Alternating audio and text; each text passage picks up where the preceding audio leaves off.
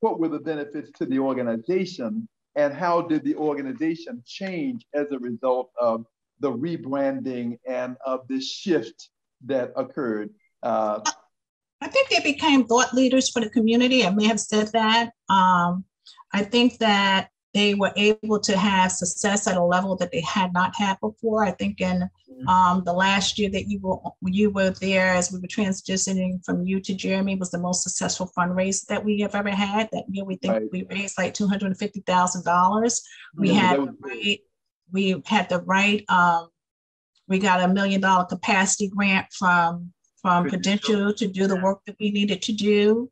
Um, I think that the organization changed because we had a fully engaged and committed board for the first time in a long time mm-hmm. to help help.